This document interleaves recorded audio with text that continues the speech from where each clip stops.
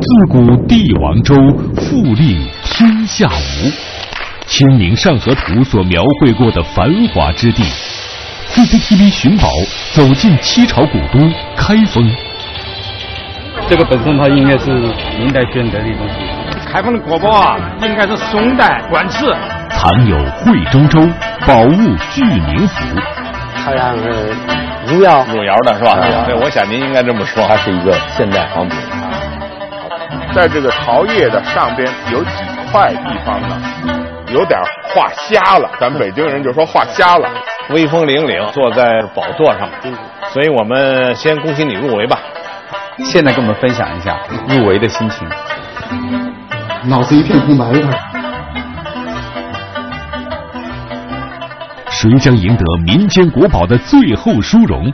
答案即将揭晓。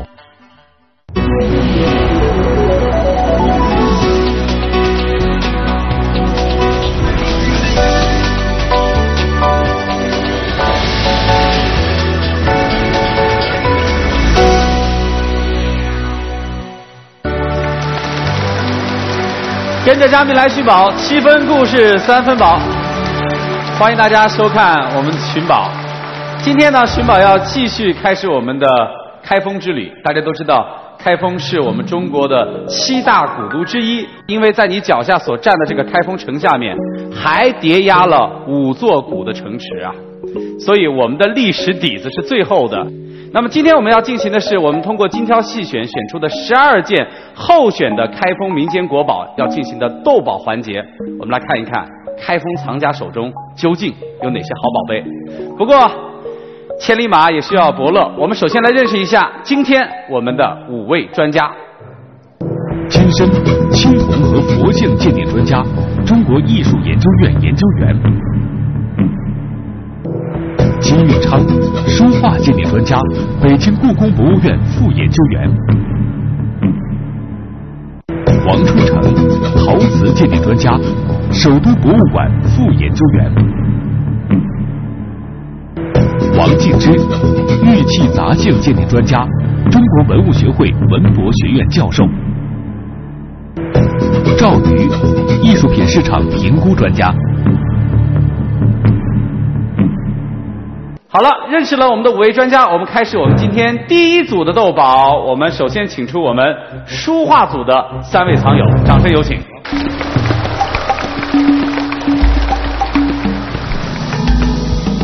好，首先欢迎我们书画组的三位藏友，我们一一来认识一下三位藏友和他们各自带来的宝贝。一号藏友李建设先生带来的是清秦莲山水图轴，欢迎。二号藏友郭继祖先生带来的是清赵之谦等含香书屋刊印图册，欢迎。三号藏友薛红女士带来的是清王铎草书临帖立轴，欢迎。好，每个人只有四十五秒钟时间，向现场的开封藏友以及全国的藏友介绍您的宝贝。我今天给大家带来了这幅画呢，是清代的秦莲的一幅作品。呃，秦莲呢，她是金陵画派的呃代表人物之一。呃，这幅画呢是呃年年久比较长，篇幅比较大，保存的非常完好。好的，掌声送给一号李先生，言简意赅啊。二号郭继祖先生，大家好，我今天带来的是手册。一共十二幅，其中呢就有赵子谦，也就是说画家大师，他画的一幅画，说挺特别名贵。这个更干脆啊，几句话，来，掌声送给我们的三号薛红女士，介绍一下你的宝贝。我今天带来的是清明两朝大臣，历史上最著名的书法家王铎的作书法作品。今天我带的这个作品正是王铎的草书，气势磅礴。好了，根据我们的规则，现在三位就要起立来观赏一下另外两位藏友的藏品，然后挑一挑毛病，并且把毛病写在我们的题板上。有请。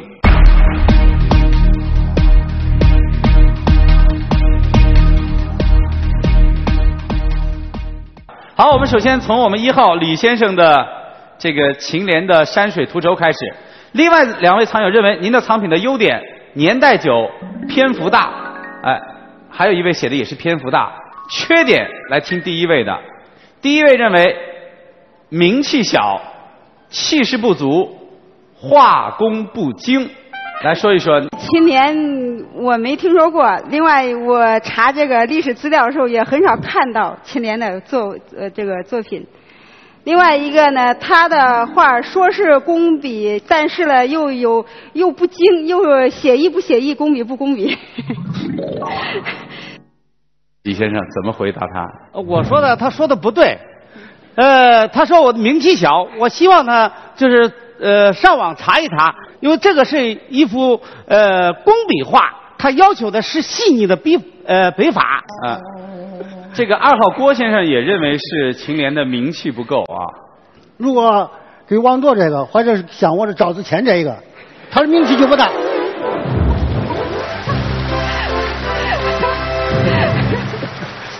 是不是开封人不熟悉秦莲，更熟悉秦香莲？好，我们来看二号郭先生带来的这个图册啊。优点，另外两位认为，第一较有名气，另外一位认为保存完整。重点，我们是说缺点啊。您身边的薛女士认为，您这件藏品的缺点是篇幅小，速写小品。嗯，我感觉他这幅作品就是说篇幅比较小，呃，这个画家就是在无意中就随笔这样画了一些小品，呃，没有什么太大的收藏的价值。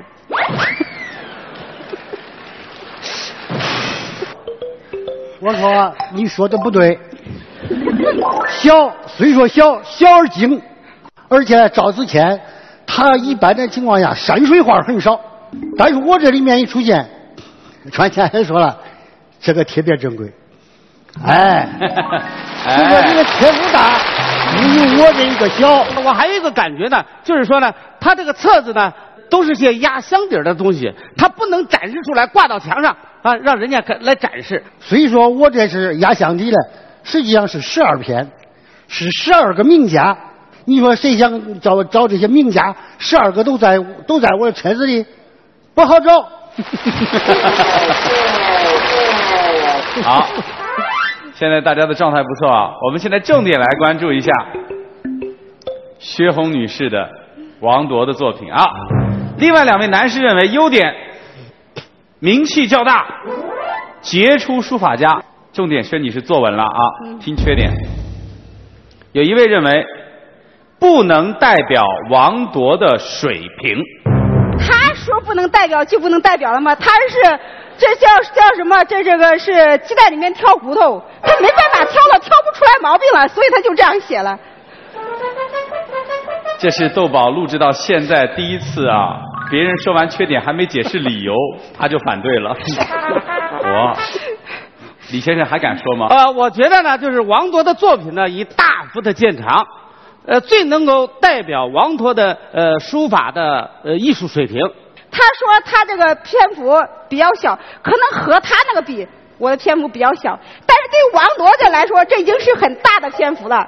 呃，另外呢，我觉得呃，王铎的作品呢，存世量比较多。这个东西多了以后，它就不值钱了。就开封，我们开封博物馆最少也王铎的作品最少在七幅以上。因为开封市为啥多？开封市我们这个书法名城啊，没有王铎几幅作品，怎么称？这个书法名城啊，对不对？好，二位消消气儿，二位消消气儿，哎，真是很庆幸你们中间坐了一位非常稳重的郭先生。但是马上郭先生也要发言了啊！郭先生认为您的这个藏品的缺点，折多，品相不好。品相不好。那就影响你你的这个名誉，是吧？你他名誉呢，就是说你保存人的这个名声，啊，就是这样。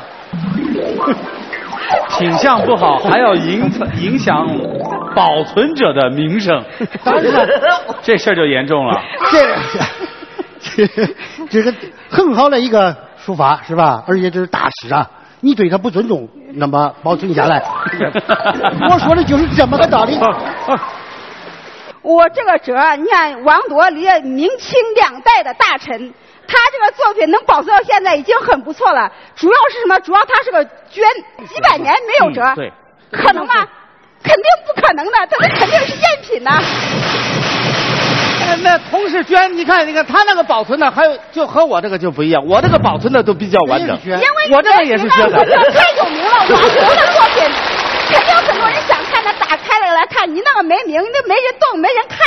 我这个动这么人喜欢看。我们再一次把掌声送给我们书画组的三位藏友。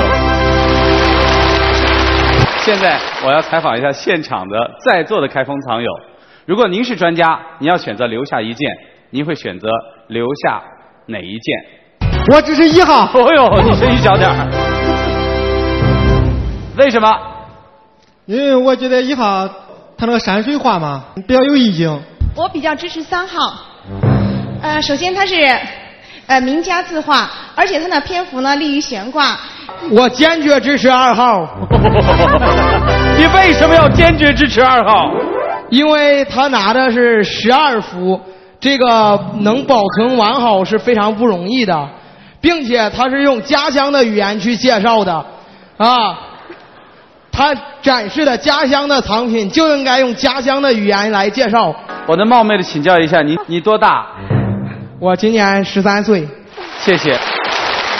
好了，我们现场三件藏品都有它的支持者，我们现在就要听一听我们专家的意见。我们用热情的掌声，请出我们书画组的专家金运昌老师，有请。秦莲的山水大轴，呃，秦莲这个名字大家可能不太熟悉，在金陵画派里边，他是占一席之地的画家，啊，呃，当然了，他的名气应该实事求是的说。不如王铎和赵之谦大，但是他有很大的长处，那么大，保存的那么完美，上边水墨淋漓，是那么的精神。这本小册页是件挺有名的东西，它的第一个主人，含香书屋的主人，是清朝道光年间。一位南方嘉兴的书法篆刻家，他呀在家里收藏了很多古代的印章。那么呢，他就请他的印友们给他画画，表现他在书屋里边埋头研究古印的情景。啊，所以呢，这十二张画都是当时比较有名的书法篆刻家的作品。最有价值的一件就是赵之谦的山水。赵之谦是伟大的花鸟画家，很少创作山水，这里边居然有他一开山水。河南朋友最熟悉的是这个名头王铎，河南孟津的大才子，明清之际书坛领袖，书坛泰斗。日本人见了王铎的书法，崇拜的五体投地，啊，有国际影响的书法家，从咱们河南走出去的，写的什么内容呢？是临摹近代王羲之一封书信的片段，啊，那个帖子名字叫《十七帖》，他在临帖里边融入了自己的思想感情。和他自己那种淋漓痛快的个人性格，所以呢，这件作品应该说是一件王铎的力作，很好。谢谢谢谢金老师的精彩点评。大家觉得书画组一号、二号、三号应该是几号晋级？几号？书画组专家推荐的开封候选民间国宝的藏品是。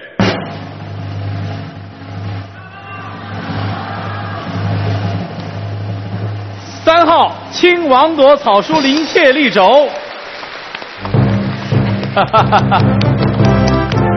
我们的薛女士现在已经是超人造型了啊！恭喜！我们来听一听专家的推荐理由。王铎诞生于河南孟津，是明清之际最杰出的书法家之一。这件草书立轴是他的灵骨之作，既体现了他对传统的深入求索，又彰显了他刚健洒脱、大气磅礴的个人艺术风格。继承创新，兼而得之，堪称力作，有较高的研究与收藏价值。好的，恭喜我们这一件书画组晋级的藏品。那么围绕这件藏品，我们就要开始讨论它的市场价值。我们首先来看一看王铎作品的市场档案，请看。明末清初，与董其昌书法齐名的王铎，在当时就有神笔王铎的盛誉，世称南董北王。王铎的书法用笔出入规矩，张弛有度，却又充满着流转自如、力道千钧的力量。特别是他的行草书法，笔法大气、境界洒脱、痛快淋漓。他的墨迹传世较多，其中最有名的是《拟山原帖》。该帖是王铎书法的代表作，各种书体兼备，集中表现了王铎书法的多种风格，为历代书家所重视。同时，作为中国书法史上重要的书法家，王铎的作品深受藏家的欢迎，其作品屡现拍卖市场，行情十分看好。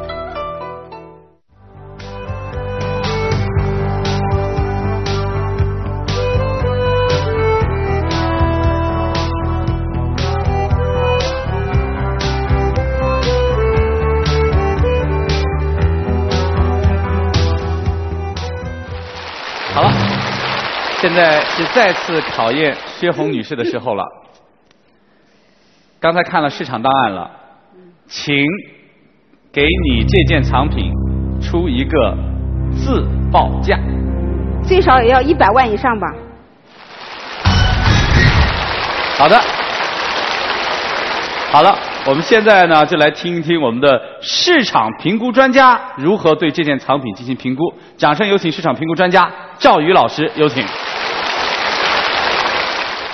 在十月十八号，中茂盛家十五年庆典拍卖会上，推出三幅王铎的书法作品，其中有一件和这差不多，底价六十万，成交价一百六十万。这件作品如果拿到北京去，拍卖公司会跟他协商成大几十万的价格。底价低一点，竞买人就会更多，成交价也就会更高。谢谢。谢谢赵老师。好的，这里是中央电视台的《寻宝走进七朝古都开封》，马上会进行我们杂项组的斗宝，我们有请三位藏友出场。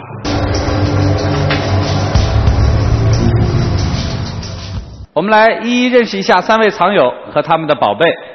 一号藏友王琦先生带来的是民国白果紫砂加彩壶，欢迎。二号藏友马林先生带来的是民国变绣二十四孝图。三号藏友费海涛带来的是民国犀角雕观音坐像。首先有个问题想请教一下马林先生，我们在四对一鉴定的时候来的是马女士，是您的，是我的母亲，是您的母亲。呃，她有事不能来，所以我就来了。好的，我们首先来听听三位藏友对自己的宝贝是如何介绍的。首先，我们从一号的王先生开始，有请四十五秒。呃，大家好，今天我带来的这个这款壶呢是民国年间的，呃，名字叫白果壶。就是说，这上面呢有十七种农产品的果实，代表这个比较喜庆的意思。好，就这样。好，谢谢。来，接下来我们有请马林先生。那么我这个变绣的图是由曾经当过大总统的徐世章提供的画本，由我爷爷精心缝制，历时长达四年。这部呃绣品。场面是非常宏大的。那么绣品中所给大家介绍的二十四个孝子的故事，为我们做出了很好的榜样。谢谢。谢谢二号，三号费先生有请。我给大家带来的是犀角杯，犀角观世音坐像，它主要的材料比较珍贵一些，它是亚洲犀，比非洲犀更珍贵。我就这么多。好的，来，三位既然都是很干脆的人，请起立，欣赏另外两位藏友的藏品，然后发表您的观点。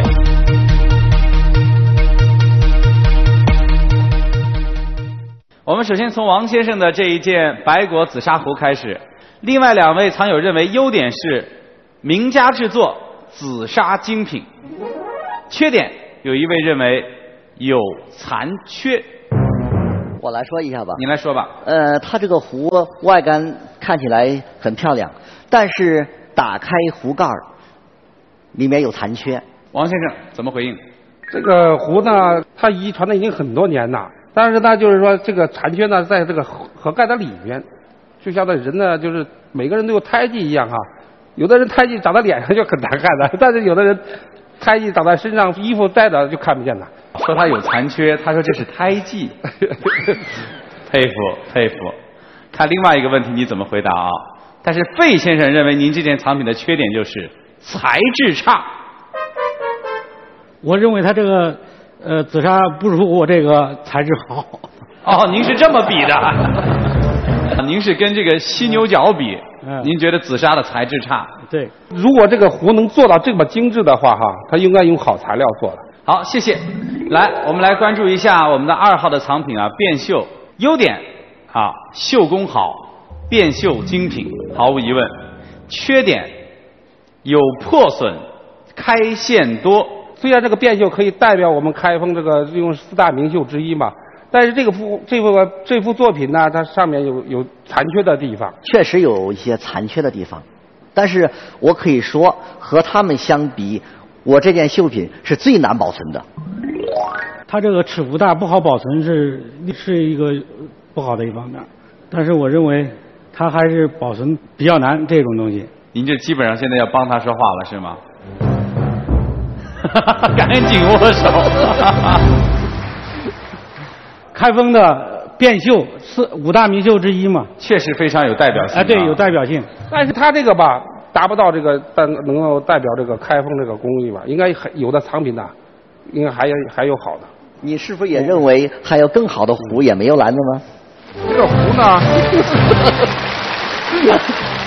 好，现在我们来看看我们的三号优点：第一，材质好；第二，存量少；缺点，器型小，刀工差。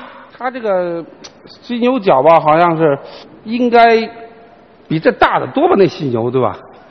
这犀牛那么大，那么粗长，你说把它都您说的是犀牛角雕还是犀牛雕？犀牛角。所以说它这个雕的，就是说，如果说雕的这么小，就怀疑这个材料是不是那个犀牛角了啊？这个犀牛有两个角，嗯，它有一个大的角，有一个小的角，这是那个小的角尖儿。再一个，这个刀工啊，它这个雕出来以后，这个佛像啊，不是立体感很强的。不是，大伙儿可以看一看，这刀工非常好。这个诚实的说，大伙儿还真看不清楚。不管怎么说啊，精神可嘉，精神可嘉啊。好，我们再来看看二号，二号马先生对于您这件藏品提出的意见就是四个字：年代不长。我们说，作为一种古董，它的年代也是一个很重要的标识。它的年代越久，它的价值相对来说越高。那么，就这个犀牛角来讲，我看年代不是很长。另外需要说明的是，我们现在要爱护动物。这是二百年二百年以前的犀角，那时候还没有保护世界保护动物呢，那个项目。好的，掌声送给三位藏友。现在的时间来听一听现场观众的声音，支持几号？为什么？我支持二号，变秀也代代表着开封吧。我觉得一号那个壶挺少见，物以稀为贵嘛。我支持三号，它首先这个犀牛角比较珍贵，再一个刚才走到这儿的时候，我看到它上面光泽度也比较好。谢谢。现在来请我们的专家为我们指点迷津，我们掌声有请杂项组的专家王静之老师，有请。民国的紫砂壶是紫砂壶制作的一个高潮。这把壶呢，它代表了一个民国的审美。他喜欢生活富足，把这莲啦、藕啦、菱啦，可以说这样的壶比较少，而且做工非常非常好。至于有残缺，这是因为使用的，这个是很难避免的。这个是变锈，几十年了。保管的应该说还是比较好的，因为绣品确实比较难保管。但是我更喜欢的是它绣的内容。今天我们建立一个和谐社会，首先要家庭和谐。中国人要老有所养，如果每个家庭都和谐了，整个社会就会和谐了。我觉得这件东西非常难得。这是一个犀角雕，世界上有几种犀？印度犀它就是一只脚，而这个。苏门犀就是苏门答腊的，它是两只脚。那么这个脚呢是一只小脚。我们中国大地上曾经有过许多溪流，后来就因为它有名贵的这个药用价值，在一九一六年的时候，我们最后一只苏门溪被打死了。到一九二零年的时候，最后的一只印度溪也被打死了。如果是说溪流今天还在的话，肯定我们中国人会好好的保护好它。好的，谢谢王老师的精彩点评。大家觉得杂项组专家会选几号？我们来看专家的选择。杂项组专家推荐的开封候选民间国宝的藏品是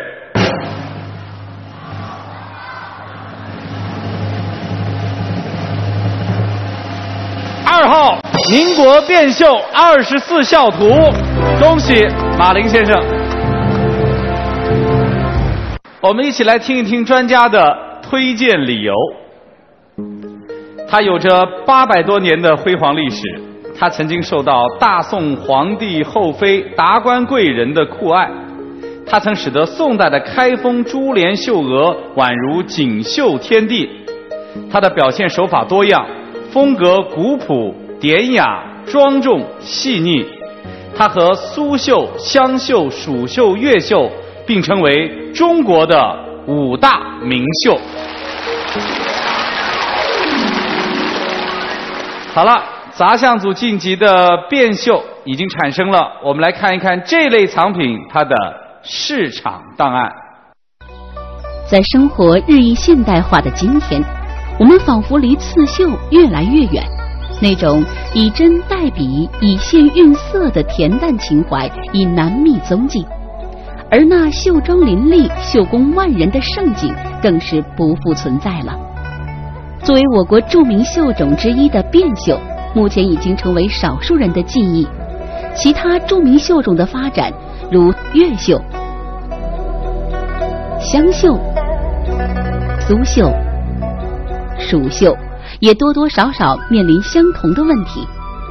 因此，对于绣品艺术性的认识有待提高和普及，特别是在收藏家中，对绣品收藏的重视同样有待提高。从目前拍卖市场的情况来看，各种绣品的成交量和成交价格均不理想。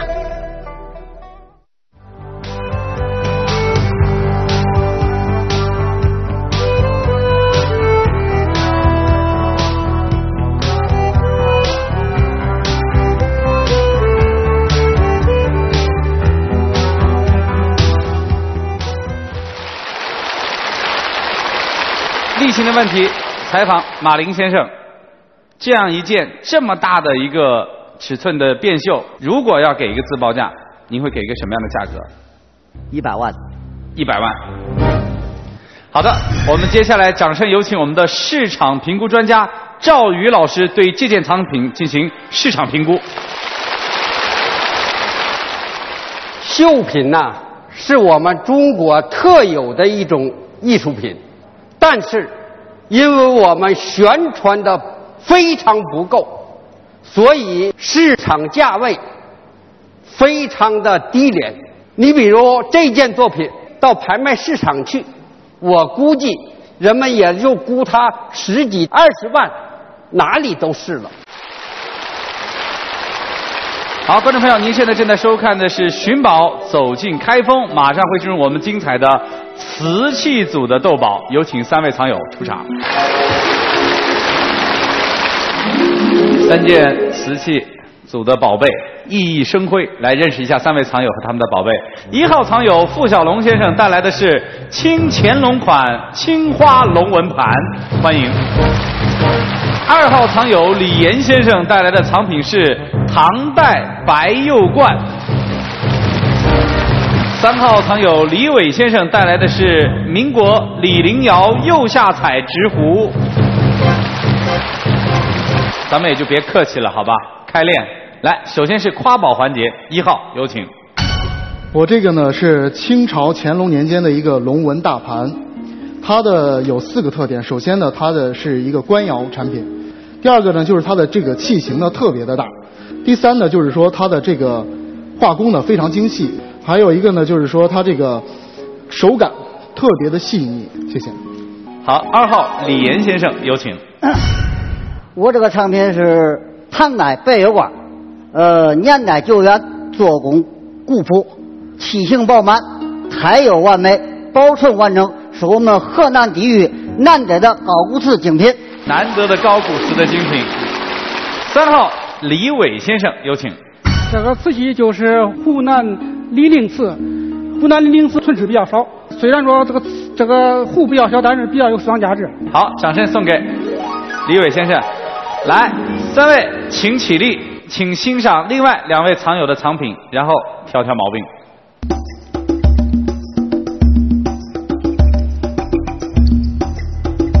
好，三位请坐。来，我们首先向这只清乾隆 官窑的盘子开炮。先来说说优点，品相较好，器型大。另外一位写的是个儿大、漂亮。缺点。画工死板，不规整。它这个青花大盘，呃，看着很大，但是呢，画工有点死板，另外有瑕疵。它的周边又不规整，充其量也就是官窑的次品。够狠，官窑中的次品，这还是我第一次听说。傅先生。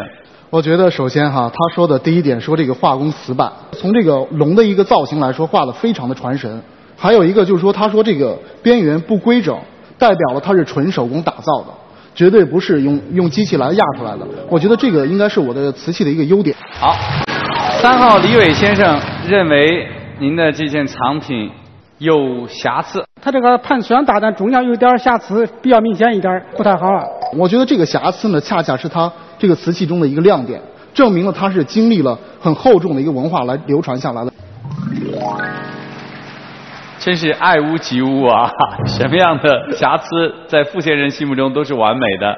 好，来我们来看一看李先生的这一只唐代的白釉罐。优点年代久远，另外一位写的年头长。缺点品相差，而且还加了一个注释，两点：一。釉不均匀，二有划痕。我觉得它这个上釉特别的不规整，它就是像什么冰糖葫芦，蘸到那个糖浆里头完之后，它没蘸完，它往下滴，所以有有一部分它是空白的，没有挂上釉。另外一个，它在这个它这个宝贝的这个旁边啊，有一个很大的一个划痕。我这个东西，我用四句话嗯反驳你。第一是历经沧桑千余载，今日有幸登宝坛。当年窑工刘太正，面貌再现是唐风。你嗯，看见了吗？人家早就有备而来了。好，二号先生叫李岩，三号藏友叫李伟。李岩先生，来听听您兄弟对您这藏品提的意见。三个字，不漂亮。不像那个大盘和这个小壶一样漂亮。那古玩摊上的非常精美、非常漂亮的东西，你敢要吗？好，我们来看一看我们三号优点：传世少，造型较好；缺点，品相差。它的这个这个这个壶盖包括这个把手的地方，包括拿起来那个地方，都已经掉了，已经缺失了它这种这个收藏价值了。李伟先生，虽然这个壶有有一点瑕疵，但是这个李陵窑在这个清朝末年以后，它这个窑已经消失了，很长时间都没有就没有烧，所以这个存世比较少。你说我品相不好，我说我存世少。嗯，来，李岩先生认为您的藏品的缺点是年代较短。他这个藏品呢，充其量也就是解放前后的东西。这个人民大会堂就是很多就很多瓷器就是李就是李窑的产品。李陵瓷现在到处都是，不是不不是少见，而是多见。多见那现代仿的。好了 好了，不问了。李伟李伟先生已经是感受到另外两位的巨大的压力了。来，请现场观众帮帮忙。这一组瓷器组支持几号？为什么？好，这位戴眼镜的小伙告诉我支持呃我支几号？持一号，因为一号从外观还非常美丽，呃，大方，而且富贵。这二号啊，保存到现在已经很不容易了。刚才说的那中间有瑕疵，一般的这瑕疵啊，烧瓷器的都砸掉了。这个瑕疵会不会有特别的意义，也说不清楚。我就支持二号。三号有支持者吗？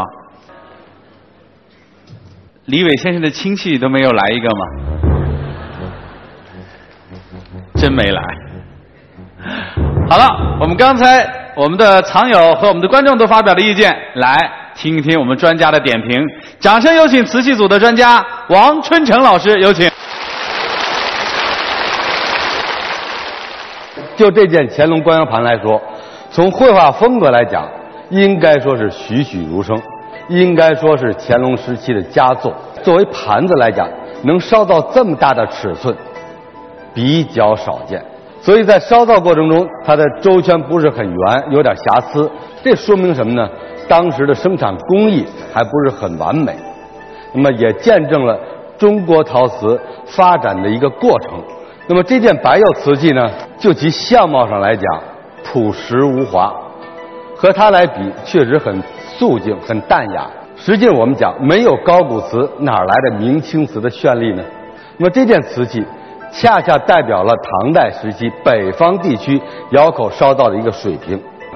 李陵瓷的确不过百年的历史，但是在清代晚期，中国的陶瓷业从最辉煌的时候，已经走到了举步维艰的一个境地。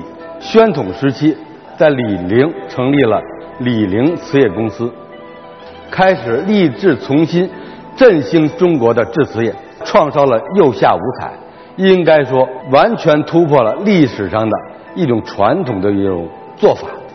这就是那个时期的一个代表作品。谢谢王老师的精彩点评。我们马上为您揭晓陶瓷组最终推荐的候选民间国宝的藏品几号。专家最终推荐的陶瓷组开封候选民间国宝的藏品是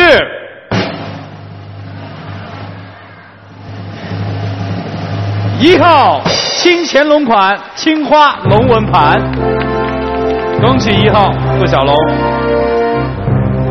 推荐理由如下：乾隆时期的青花瓷器在前朝的基础上博采众长，用简洁洗练的手法来增强其艺术的表现力，注重纹饰布局与硕大器型的完美结合，彰显出乾隆官窑瓷器的独特魅力。乾隆官窑的瓷器再次成为我们本场关注的一个焦点。我们来看一看这一类藏品的市场档案。清代乾隆时期，瓷器生产取得了空前繁荣，青花瓷也达到了登峰造极的程度。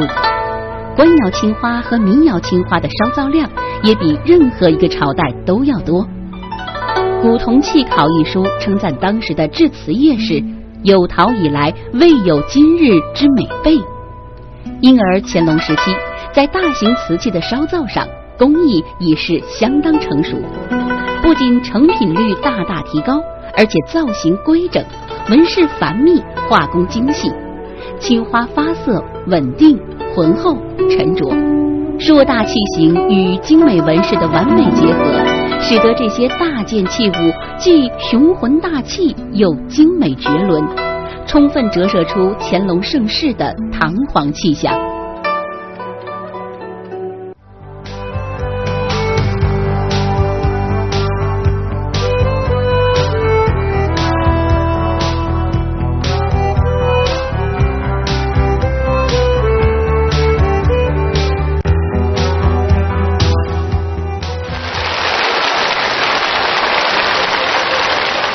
好的，如果我没有记错的话，付小龙先生是受朋友委托来把这件藏品带来参加我们节目的。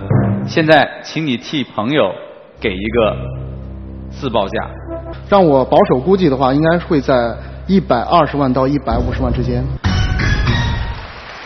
好的，接下来用热情的掌声，请出我们的市场评估专家赵宇老师。这件作品，他是在北京买的，上半年买的。如果拿到下半年拿到北京去，他的估价不是他的落锤价、成交价，还是原来那个参考价。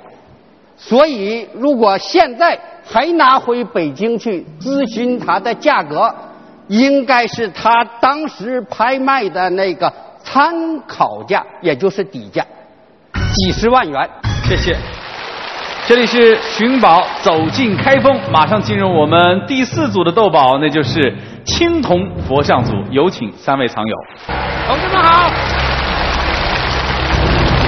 同样是三位男藏友，来，我们依次给大家介绍一下我们青铜佛像组的三位藏友。一号藏友任志宏先生带来的是明代张明奇铜手炉，欢迎。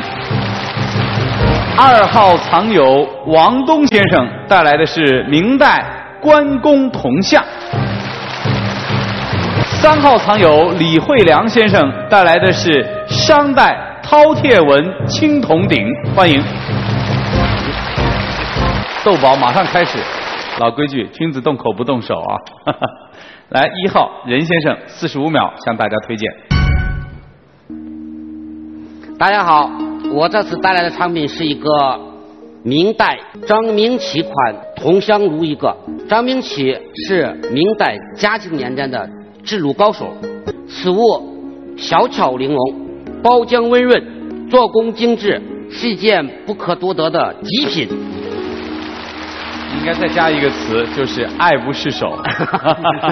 好的，谢谢。二号，王东先生。我带来的这一座造像是关羽的造像，关羽呢是忠义的象征，是中华人民族的象征，也是我们开封男爷们的象征。大家好，我今天拿的是一个沉甸甸的一个文物青铜器，而青铜器的代表作就是鼎，它是一个礼器，它是一种文化，它是一种历史。谢谢。那三位爷们儿，咱们就别客气了啊，请起立，欣赏另外两位藏友的藏品，挑他们的毛病。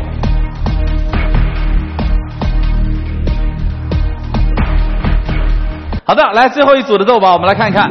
首先从我们一号藏友的这一只张明奇的铜手炉开始，另外两位藏友认为优点是名人名作，还有一位认为是铜质好，缺点。你看，尽管有一位认为铜质好，但是其中有一位认为是铜质差，不大众化。这个材质不太好，就觉得像那些这个小冶炼厂回收过来以后，然后通过粗加工打造出来的，不太大众化。就是什么呢？它拿起来有一点沉，有一点重。你像这个小孩啦，像这些这个妇女啦，他们拿起来就不行，只能这个男爷们儿要要用可以，但是不能喝酒，喝把酒以后也会烫到手的。您想的真周全，您把生活的方方面面都想到了。任先生，我这个铜之小，里头含金，这是进口的，嘉靖年间明代。我感觉，要是如果给我收藏这一件藏品，我是不要的。啊，你要我也不会给你的。好，都聊到这份上了。好，来看一看三号李先生对于您的藏品提出的意见是，不是名人的精品之作。对。张明奇这个人呢是特别有名的一个制壶专家，在古代是很很有名的。但是他呃造铸造的那个壶啊特别大漂亮，非常精美，上面有服饰。而他这个比较素面，所以呃虽然这上面那个盖儿像个鸟巢，但是没有鸟巢好，像个篦子，像个像家用的篦子，不像鸟巢。哎，对，鸟巢是北京奥运会开开幕式的东西，这个东西就是从它翻版过去的。好，他来个顺水推舟啊！好，来我们来看哈，我们的二号啊，关公铜像。优点，著名历史人物，而且呢，有一位藏友认为这种造型少见，这是优点。缺点，器物残破。关公大爷，对不起。关公大爷是历史上著名的人物，家喻户晓。他这个东西呢，关公坐的板凳都没有了。你说他的这个关羽的宝座有一些残缺，这个是没有残缺的。这个你看做的挺好，挺稳的。嗯。三号李先生认为您的这件藏品的缺点是做工较差。明朝时候呢，做了这个青铜器啊、佛呀，还有那个观音呐，什么特别精美。它整个这一个呢，特别粗糙。他说外形不精美，那是不准确的。你看这个关羽的这个神态，包括他身上穿的铠甲，他的战靴，都做得非常的精美。好，谢谢。来，我们来看一看我们三号李惠良先生的这只饕餮纹的青铜鼎。优点：历史悠久，造型规整；缺点：品相差。太小气了，像我们开封人喝羊肉汤的碗，不行。这样喝羊肉汤，你能干年老代不了代表不了一个国家，你代表一个国家，你要做大一点的嘛，对不对？你做这么小，你你这什么什么样的国家？还没有咱们开封人喝羊肉汤的碗那么大吗？对对对，并且呢，它还得是个漏碗。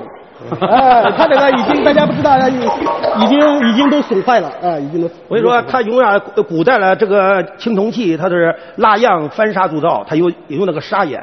另外，它是一个礼器，它不是盛饭的，所以那个沙眼是正常的。你就是下碗老面条，哎，你也就是漏漏干净了。老面条，它要是千年老汤，也就是非常好的。你就是吃一个 吃一个炒面了，来一个炸酱面了还是可以的。节目录到这个时候这么长，聊点羊肉汤也是情理之中的事儿。来看看任先生对这件藏品提出的意见：器型小，有残。它的东西后面有个洞，你就不知道？盛个水都放不下去，这东西就是摆摆玩玩罢了。它是个礼器，它不是盛汤的。礼器就是别人看看东西。我们这多实惠啊！上手把玩，你那个那只能看看罢了。你那个也不太大众化，你那烫到手了就不好了。就我这个最好了，谁办谁发财，谁拜是发财。那我先拜拜吧，近 水楼台先得月。你正面正面拜一下，可以了，我拜他两次了。我说你再拜的时候，你给修一下，不修一拜吧以后钱。得不了特别多，它又是残的，它都漏掉了，这个洞都把钱都漏掉了。如果你感觉不好的话，你下来送给我得了啊。刚才大家欣赏到的是群口相声豆宝，掌声送给我们三位藏友。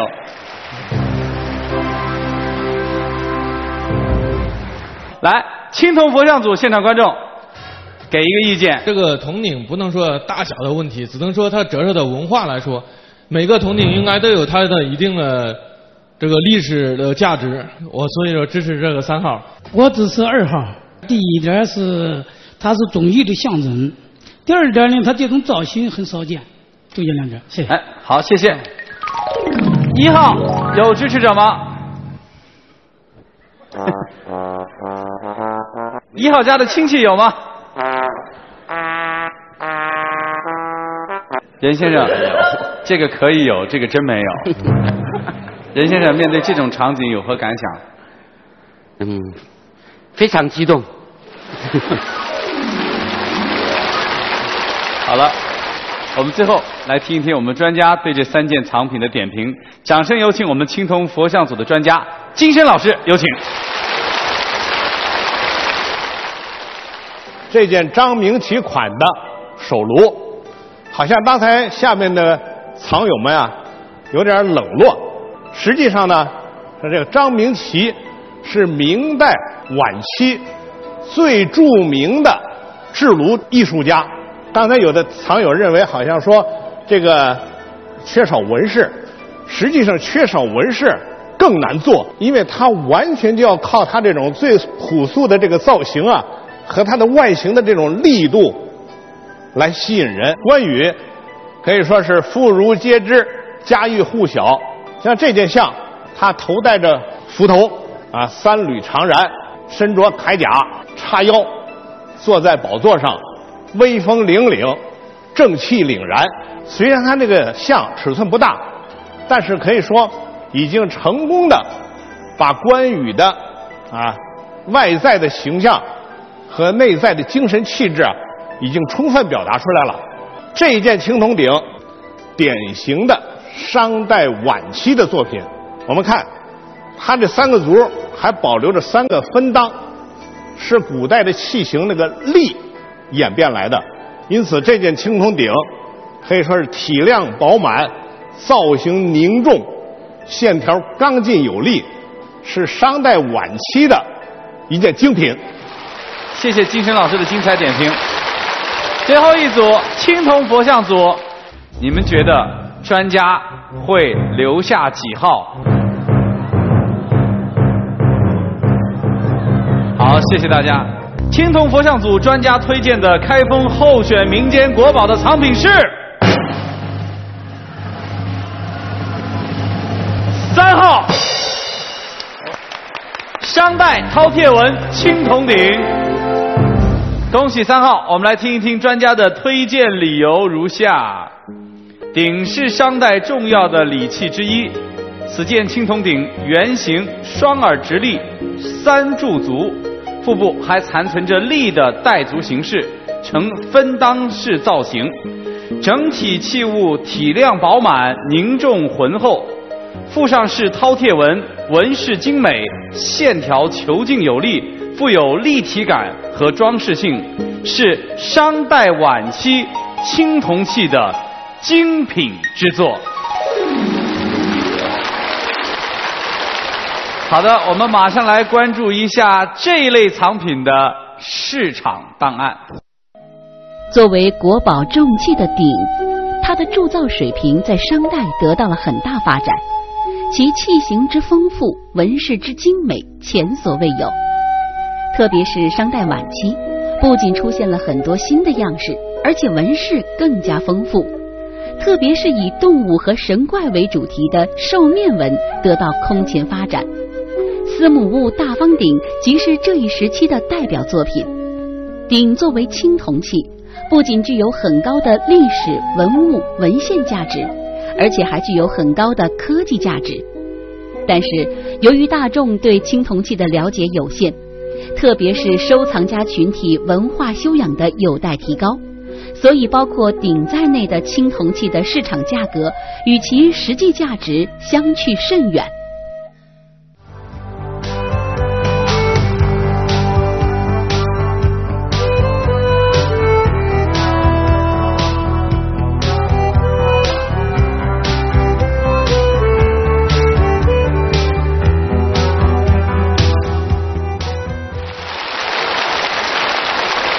恭喜李先生，给个价吧，保守的吧，一百二十万。东西很沉，但是报价很轻松，一百二十万。好，我们来听一听专家的意见，有请我们的市场评估专家赵宇老师。青铜器这个文物门类，是我们诸多文物门类当中的第一门类，但是。因为我们对青铜器的宣传、青铜历史的学习，特别是收藏家文化底蕴没有提高起来，所以它的市场价位这个反差是没法来评估了。这件东西如果拿到北京三五十万块钱。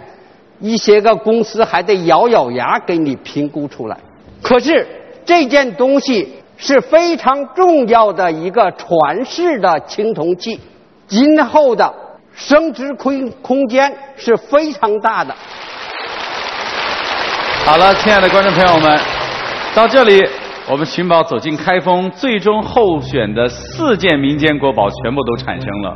我还是想采访一下现场的所有的观众朋友们，用手势告诉我，作为开封人，您心目中民间国宝是几号？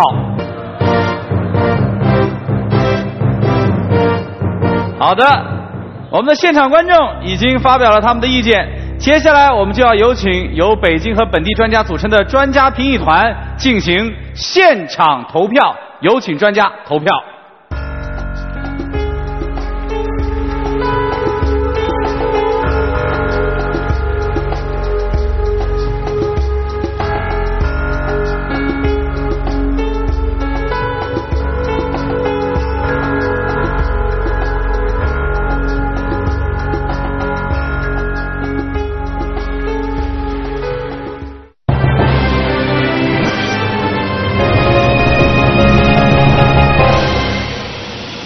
好了，观众朋友们，寻宝走进开封，民间国宝即将诞生。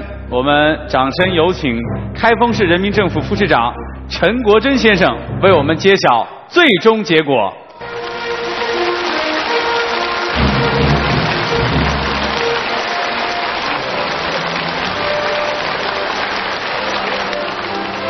现在，我宣布，中央电视台大型电视活动《寻宝走进开封》评选出的开封民间国宝，它代表着一门历史悠久的传统艺术，文化内涵十分厚重。它没有鲜艳的色、嘹亮的歌，却同样能够震撼人们的心灵。它的作者是诞生在中州大地的著名才子，三百多年岁月留痕，也掩不住他那龙腾凤舞的矫健身形。他就是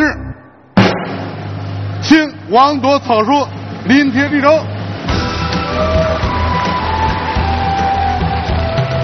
好了，观众朋友们，感谢您收看这期节目，跟着嘉宾去寻宝，七分故事三分宝，看一看我们下一站去哪里。春秋五霸时的齐国故都，中华文明中的人文圣地，旧貌新颜，国际新晋认定的世界足球发祥地。所以我们来看看蹴鞠的庐山真面目。这就是蹴鞠，我们在山东淄博推荐的第一件宝物。泱泱古风，人情风貌引然入线。今天的天气很冷，但是我们藏有的热情很高，非常热。齐鲁故地，历史一脉烈若星辰。玉器我们发现很多，但是琉璃的我们发现的很少，一套的更加少。河水悠悠，往事千年。我们带您踏上跨越千年的文明之旅。敬请收看《寻宝走进淄博》。